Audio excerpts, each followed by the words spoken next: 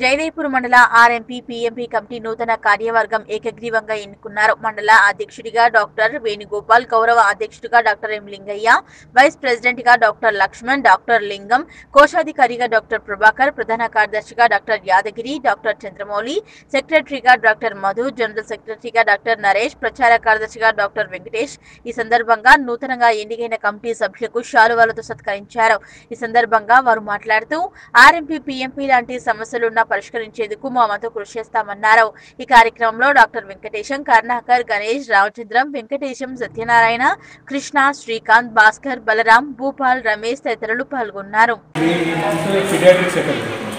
Already gynaec మనకు బాగానే నడుస్తుంది. మేము డాక్టర్ పండిత బాగా చేస్తున్నాము సో పీడియాట్రిక్ సెటప్ కూడా లేదు అని ఫీడ్బ్యాక్ వస్తే మనము full fledge paediatric with NICUs వచ్చింది.